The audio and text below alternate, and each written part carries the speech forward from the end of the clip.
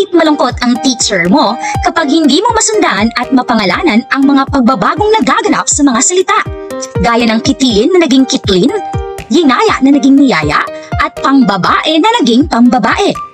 Bakit ba nagkakaroon ng ganitong pagbabago? At bakit mahalaga na may kaalaman ka ukol sa mga ito?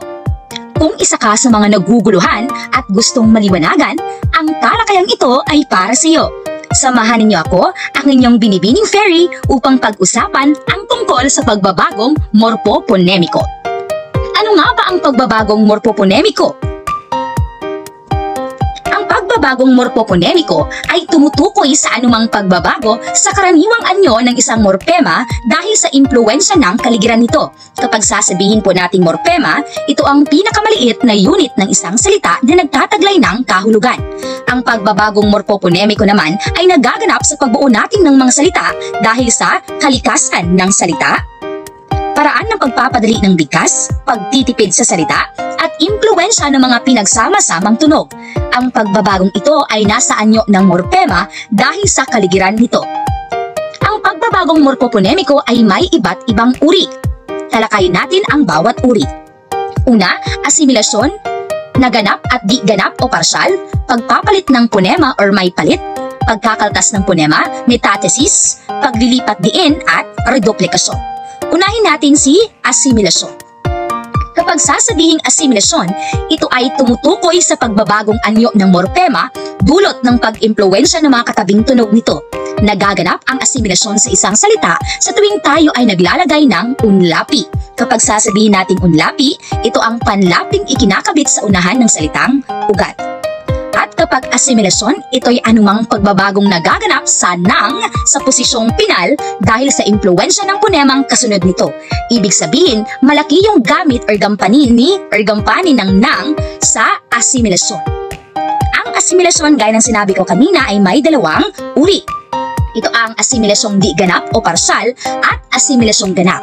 Kapag um, pasa- patatalakayin natin yung asimilasyon, malaki ang gamit or gampanin ng panlapi or pronoun sa Ingles, gaya ng panlaping pang, mang, sing at sang.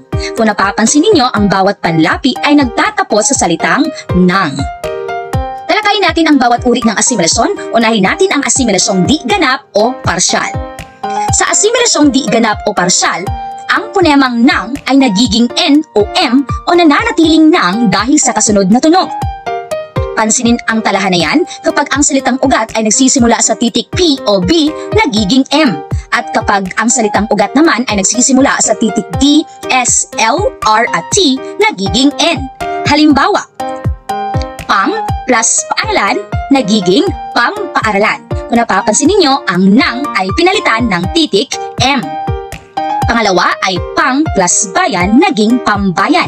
Ang nang ay panalitan ng titik M. Pang plus lalaki naging panlalaki kung saan ang nang ay pinalitan ng titik N. Hindi lamang ito applicable sa panlaping pang, pati na rin ang sing. Halimbawa, sing plus payat naging simpayat. Yung NG or yung nang ay pinalitan ng titik M. Sing plus tamis naging sintamis at mang plus babae naging mang babae. Punta naman tayo sa asimilasyong ganap. Ibig sabihin nawawala ang unang punema nang nilalapi ang salita dahil ito ay inaasimila o napapaloob na sa sinusundang punema. Pansinin ang talahan na yan kapag ang salitang ugat ay nagsisimula sa titik P o B, nagiging M. Kapag yung salitang ugat naman ay nagsisimula sa titik D, S, L, R at T, nagiging N. Halimbawa, pang plus palo naging pampalo. At kapag asimilasyong ganap, nawawala ang unang punema ng nilalapi ang salita, kaya naging pamalo. Pang plus tali, naging pantali, at naging panali. At pang plus sulsi, naging pansulsi, at naging panulsi. Ibig sabihin kapag asimilasyong ganap, ganap na talaga na may anawawalang punema sa nilalapi ang salita. Hindi kagaya ni di ganap o parsyal na parsyal lamang o hindi pa ganoon kaganap ang naging pagbabago o nawawalang punema. Kasunod naman na ng uri ng pagbabagong morpoponemiko ay ang pagpapalit ng punema. Sa pagbubuo ng salita ay may pagkakataong ang punemang inisyal ng salita na nilalapian ay nagbabago o napapalitan gaya ng sumusunod. Ang titik D naging R, H na naging N at O na naging U. Halimbawa, ma plus dapat naging marapat kasi ang punemang D sa posisyong inisyal ng salitang nilalapian ay karaniwang napapalitan ng punemang R kapag patinig ang huling punema ng unlapi. Ma plus dunong naging marunong. At ma plus dami naging marami. Napapansin ninyo ang titik D ay pinalitan ng titik R. Kasunod naman ay ang H na naging N. Tawa plus han naging tawanan at kuha plus han naging kuhanan. Sa ilang halimbawa, ang H bagamat hindi binabaybay o tinutumbasan ng titik sa pagsusulat ng panlaping han ay nagiging N. At ang panghuli naman ay ang O na naging U. Halimbawa, dugo plus an naging duguan. At bugso kapag inuulit, bugso, bugso. Kasi ang ponemang O sa huling pantig ng salitang ugat na hinuhulapian o salitang inuulit ay nagiging U. Pangatlong uri naman ay ang pagkakaltas. Ito ay nagaganap kung ang huling punemang patinig ng salitang ugat na hinuhulapian ay nawawala. Halimbawa, ang salitang ugat na dakip, tas panlaping in, naging dakipin. At yung nabuong salita dahil sa pagkakaltas ng punema ay naging dakpin. Nawawala ang titik I. Pangalawa, bigay plus an, naging bigayan at yung nabuong salita sa pagkakaltas ng punema ay naging bigyan. Nawawala ang titik A. At takip plus an, naging takipan. At ang nabuong salita mula sa pagkakaltas ng punema ay naging takpan kung saan nawawala ang titik I. Pang-apat naman ay tinatawag na metathesis. Ang pagpapalit ng posisyon ng letra ng sa loob ng isang binuong salita. Ang mga salitang ugat na nagsisimula sa L o Y na ginigatlapian ng in ay nagkakaroon ng paglilipat ng posisyon ng N at ng L o Y. Halimbawa, ang salitang ugat ay lingap nagsisimula sa titik L na ginigitlapian ng in, naging liningap pinalitan or um, nilipat ang in sa unahan ng salitang nilalapian kung saan kapag dadaan sa metathesis ang nabuong salita na ay naging nilingap. Pati naman sa yakap plus in, naging yinakap at kapag at transfer naging niyakap. Tinransfer yung in, naging niyakap. And kapag lipat naman plus in, naging linipad kapag at transfer yung in, naging nilipad.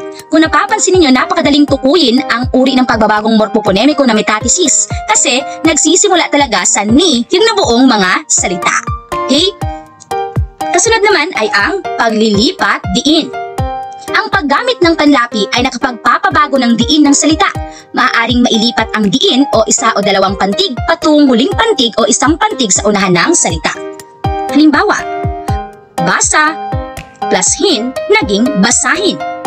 Ang diin ay nasa pangalawang titik A. Pangalawa, ka plus sama plus han naging kasamahan, kung saan ang diin ay nasa pang-apat na titik A. At ang panghuli naman ay laro plus an naging laruan, kung saan ang diin ay nasa pangalawang titik A. Kung napapansin ninyo, nagbabago ang diin ng salita. Ang panghuli naman ay ang tinatawag na reduplikasyon. Kapag sasabihin po nating reduplikasyon, ito ay pag-uulit ng pantig ng salita. Ang pag-uulit na ito ay maaaring magpahiwatig ng kilos na ginagawa o gagawin pa lamang tagagawa ng kilos o pagpaparami. Halimbawa, aalis, pupunta, matataas, magsasaya, magtataho, naglalakad, tatakbo, tatalon, nagtataka, nangangamba, sasakyan at sasayaw. Okay? Again, yung uri ng pagbabagong morpoponemiko na natalakay ay una, asimilasyon, naganap at di ganap o parsyal. Pangalawa, pagpapalit ng ponema or may palit. Pagkakaltas ng ponema, metathesis, paglilipat diin at ang panghuli ay reduplikasyon. Tandaan na ang mga pagbabagong ito na nagaganap sa mga salita ay pag-agapay ng ating bika sa nais na bigkas ng ating dila upang agaran nating masabi at malaya nating may bahayag ang mga salita sa pinakamadulas na paraan nang hindi na isasantabi ang nais nating kahulugan. Lagi nating tatandaan na ang simpleng pagbabago ng salita ay bahagi ng ating balarila na dumaragdag at nagbibigay linaw sa ating pag-unawa. Naway marami kayong napulot sa kaalaman na ating naging talakayan. Maraming salamat at magandang araw sa ating lahat.